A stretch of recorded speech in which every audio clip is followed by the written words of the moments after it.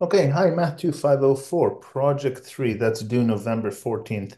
This is really the end of the uh, exam period, so very near the end. It leaves the teaching staff very little time. So November 14th is here, and exam period is here.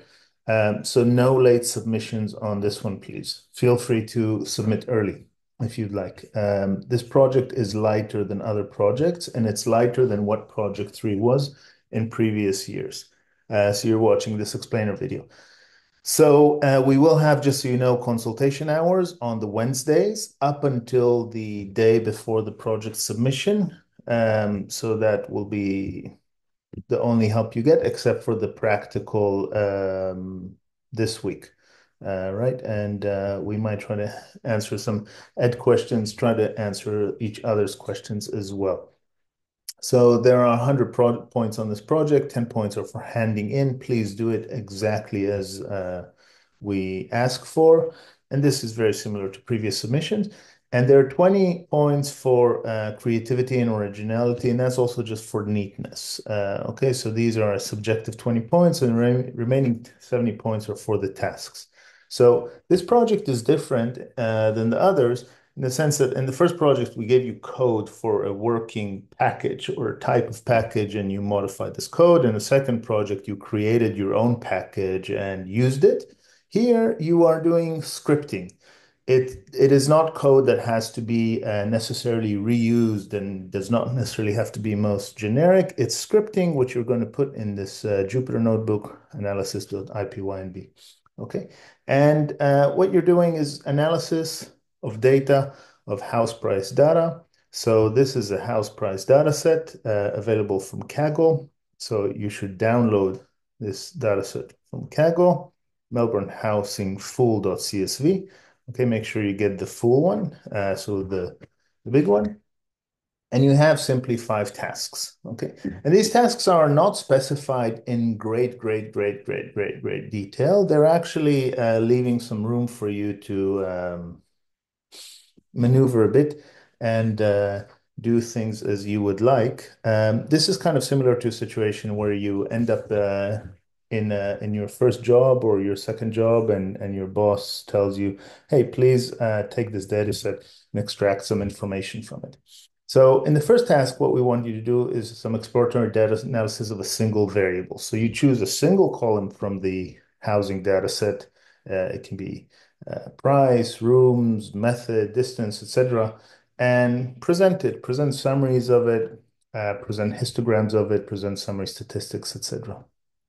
In the second task, we want you to compare two variables. So, you know, uh, price is a function of distance to the city. Now, sometimes you don't have these variables directly in the data set, so you should do some transformations of your own right? And a lot of the things you'll be dealing with is also some missing data. So you'll need to maybe drop the observations that have missing data. Um, in the third task, we want you to take a time series over time. And so look at the data set and actually extract from it, create some other data that looks at over time, over time meaning over weeks or over months or over days, okay? And see some trends or, you know, we're asking you plot the volume of sales over time. Okay, so you need to do some uh, auxiliary calculations for that. The fourth task is to carry out simple linear regression, so fitting a line. Okay, we already had examples of, uh, of that. We used it kind of for something else in this course. If you go to Unit 3, um, using GLM or just GLM.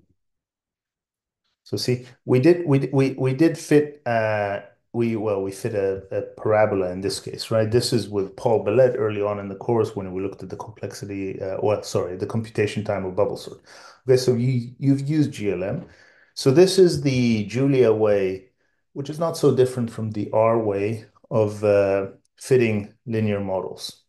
Now what we want you to do now is to um, do linear regression and make some prediction to predict the house price. So create a model now, you don't have to do this in full statistical rigor, but if you know what p-values are, then you can make use of them. Otherwise, you can maybe break up the data set into what you'd call a training set and a validation set. and you could fit the model on the training set and see how it works on the validation set. This does not have to be a uh, kind of killer result in the sense that you you know, uh, really are able to make a model for predicting house prices, but you're working towards that direction. There's also some resources in chapter eight of the statistics with Julia, but you can get it from elsewhere also. So task five, the slightly heavier uh, task, is also slightly more difficult. And what you want to do is to create a quality animation movie presenting uh, the Melbourne housing data over time. So this is where you should be creative in how it looks uh, and what it does. Uh, and you know you need to work a bit to make it work. You need to work with coordinate systems, get the coordinates, plot them on, export to movie. Uh, we recommend trying to use Makie.jl and one of the associated packages, but feel free to just do animations if you, for some reason, can't, as we've shown you here. Um, we had we had basic animations that we created here, right? So these basic GIF animations. Now, just when you create this animation and uh, and uh, and and you hand in the project, please put the animation file not in the Jupyter notebook because that will make the Jupyter notebook very big. So don't save the animation file in the Jupyter notebook. Save it into the GitHub repo and I must say that this is not great practice. And the reason it's not good practice because GitHub is great at finding differences, but it doesn't do so for binary files. It does so very well for textual files. So putting big binary files like animation files in Git is generally not good practice. In our case, it should be okay as long as your animation is not too big. Make sure that it's not too big. So make sure that you manage this hurdle of making it not too big. And try not to have dozens of commits of it. Just commit once or twice and it should be okay. We'll uh, use this not best practice here.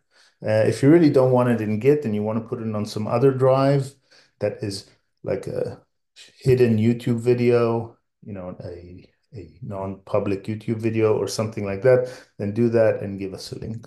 Um, anything can work. Okay, so that's a project. It's uh, lighter. Uh, of course, the material for it, you started already uh, last week with uh, Claire, and Claire will continue with you uh, this week for three lectures. That's on Unit 8. And this is on the very interesting, well, let's say very useful area of just working with heterogeneous data sets. Uh, and there are many packages and sub-packages and sub-ways of doing things, etc., and variations. Important thing is just to get the job done. And I'm sure you will. So good luck with that. Bye-bye.